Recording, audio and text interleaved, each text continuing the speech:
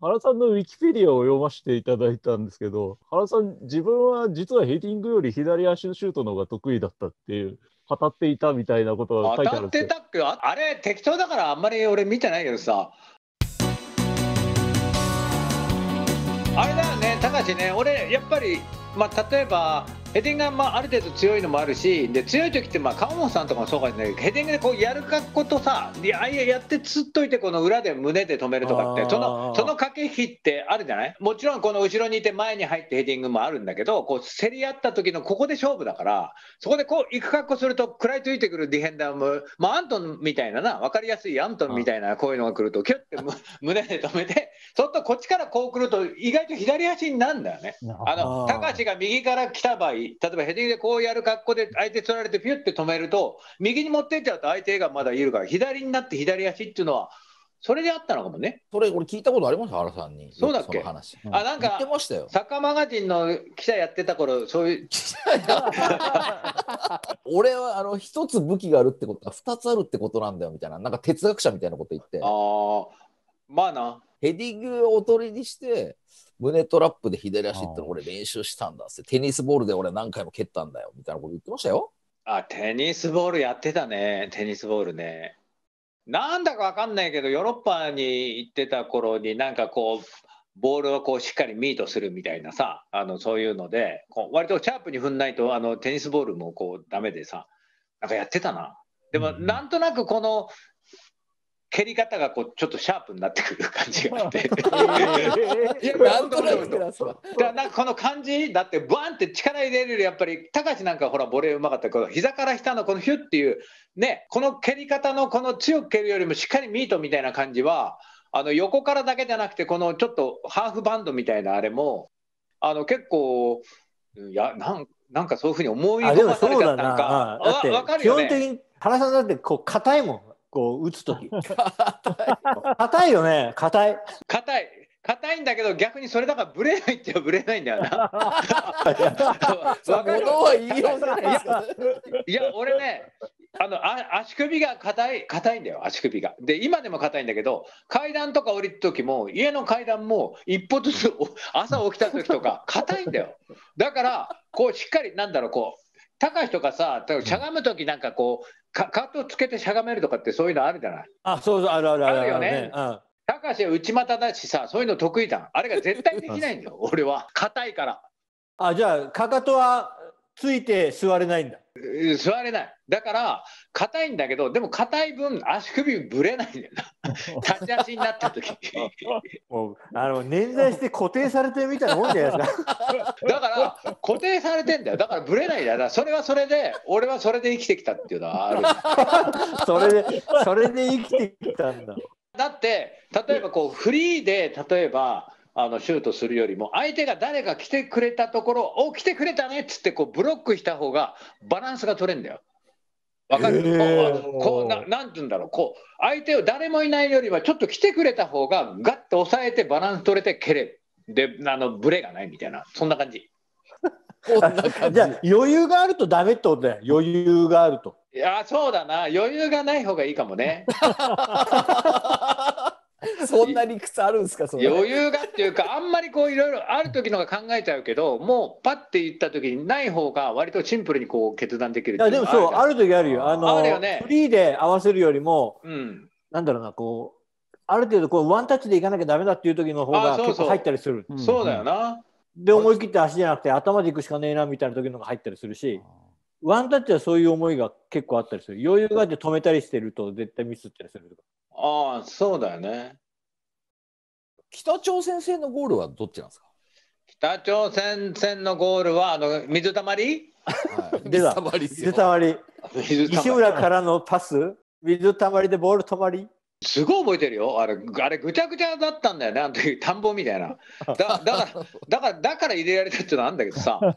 あのあれ国立競技場で水たまりで確か西村が蹴ったんだよね。すそんで蹴ったけどすごい水たまりだからそこに蹴ったらなんか浮いてくりゃいいけどさこんなボール来たら止まっちゃうだろうと思ってバーって止まっちゃったんだよな。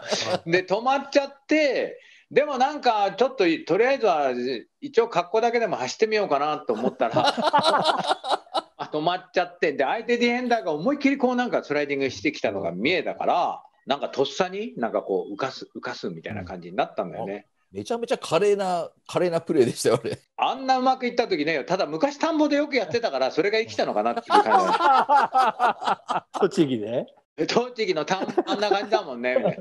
嘘でしょ、それ。本当だよ。だってこ高校の中学校のグラウンドもそんなような感じじゃん。うんあの水たまりがあったりさ。昔の赤岸のイレブンの山形五十郎のシュートみたいなもんですよ。田んぼでやってるっていうのはそういうもんですよそうだな。でもあれはあの時は足首柔らかかったですよ。ボール浮かした瞬間は。やらかったえやらかった。でも硬いからそのまんまこうもう乗っ乗っかっていったんじゃない？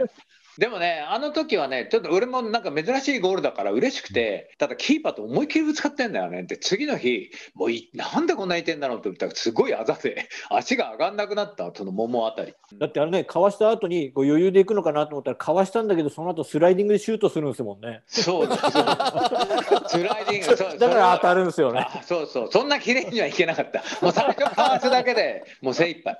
でもあの試合でも原さんはサッカー人生で唯一ゾーンに入った試合って言ってましたよ。そうね、そういう感じの試合って何試合かあるよな、高橋な。あるあのなんか自分が本当にこう上からもう一人の自分が見てるぐらいのさなんかこう感じがあったかもしれない後で振り返るとだって周りが止まって見えたって言ってましたよ。なんか川上哲治みたいなこと。言ってましたその時 原さんが。そんなこと言ったっけね俺、残してる残してるじゃないですか。ボールが止まっていいですねいいですね。まあ昔から結構いいこと言うんだな。高橋だってそういうのあったでしょ？そういう試合は。ありましたけど、そんな多くないです。多くいや多くはないよ。それ多かったらやっぱすごい選手になっちゃってるよな。うん。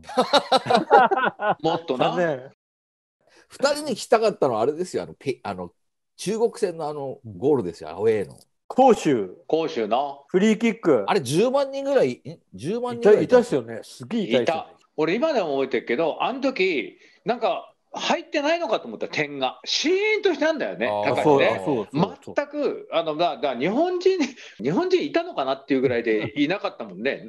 いや、アウェーだからでしょ、それ。いやだからなんか本当日本のサポーターとかそういう時代じゃなかったからう。ん。マスコミの人が何人かいたぐらいしかいなかったんでうん。ともすんとも言言わずあれ？ってこれ入ってんだっけ？と思ったら入ってたんだよね。ただあれ以外ずっと押されたっていう 記憶はあるけど。そうですよ。あの後の怒涛の攻めを食らい、それこそバーとかポストとか何回当たったかみたいな。そうだ。すごい覚えてますよ、俺。あれも。もう打つたびに入るなってなんかね、守備をしてるわけじゃなく、と見てて入るなとか思ってたもん。守備してくださいよ。そういうことなんだよ。いや参加しろやって話なんだけど、入るな、本当に入るなって。お願いしますって言うのにいや本当にあの1回ぐらいしかなかったんですか、チャンスってじゃあ。ないないないよね、だってハーフライン越してあっち行ったのはあんまりなかったもんな確かに。ほとんど守ってたような感じだっただって俺たち強くないもん。いやいやあの時だからその入るなのゾーンに入ってたんじゃない？その試合はあ だって超、超だって守備的なチームだったっすよね。あれまあそうだなうん待って、前3人、俺と原さんとてっちゃんぐらいしかいなかったですよね。いないないないな いないいな まあでもあれホームで引き分けでよかったら負けちゃったんだよなね。あれはね。でもむしろあの時の方がチャンスはあったんだよなあったあった。手塚さんのシュート。そうだよもうおお俺だから横にいてさクレーラーがゴールして入ったのがあいつ打っちゃったんだよなま あれはね、俺が、俺がダメだったです。あれは、うんあの試合は、フリーキックとかもすっごいチャンいっぱいあったのに、セットプレーのチャンス。で、全然いいボールが入らなかったんですよ。ああなんでか途中から Q さんに「高橋ここに蹴れ」っていうふうにわざわざキッカーのところまで Q さんに来られたの、えーああそうだったんだうんでもあれ引き分けてたら、でもオリンピック行ってたんだからね。まあでも、まあ今から見ればな、やっぱりちょっとね、あれでも引き分けでいいっていう状況がやっぱり良くなかったな、本当は勝ちに、うんもっと勝ちに行かなきゃいけなかったんだろうと思うんだけど、だって昔のね切り抜きとかなんかあるんですけど、うん。おあの中国に勝って帰ってくる時の、まあ、羽田羽田成田か。に着いた時のなんか切り抜き写真新聞かなんか持ってるんですけど俺と原さんニコニコしながら帰ってきてるもんね。そうだよね。ダメだなああん時さ中、俺らはもうあと最後だったけど、中国はあどっか、タイだかどっかと残ってたんだよね。で、しかも中国はタイのアウェーかなんかの試合で、で意外とこう相性が悪くて、タイに。で暑いしみたいなでそこでもう引き分ければ俺ら決まりぐらいの感じはあったんだよねあだから引き分けてくれんじゃないかなみたいなのもどっか どっか思ってたとこもあったのかもしれないね。だってそれこそさよなんかオリンピックだみたいな感じでさなんか歴史が変わるかもみたいなこと言われつつさ勝って帰ってきたしあそれこそ10万人の大観衆の中でやって相手がシーンとするぐらいのところで点取ってやっぱりどこかやっぱあるよね。うん。そういう。え逆に勝っちゃったから余計プレッシャーがあったみたいなのもあるんですかじゃおプレッシャーっていうかあれ結構間間もんね。あの試合の後1か月か2か月後ぐらいだったんだろうね多分ね。そんなじゃないでしょ。1か月後ぐらい？あ10月でしょ？10月10.28そんなに間はなかったと思いますよ。ないか23週間かで俺途中でそれこそ代表の、まあ、次の試合までに日本リーグがあってでその時にそれこそ読売クラブと試合やって目のところ蹴られてで腫れてでしで大丈夫かみたいな感じになったんですよ。で覚えてるのは国立に向かうバスの中がみんな喋らないんですよ。え緊張で。そうシーンとしてて、えー大丈夫かなと思ってたのはすごい覚えてるんだよね。でえ音がパシパシって音がするんだよね。で、何の音かなと思ったらね、勝也が顔叩いてんだよね。ー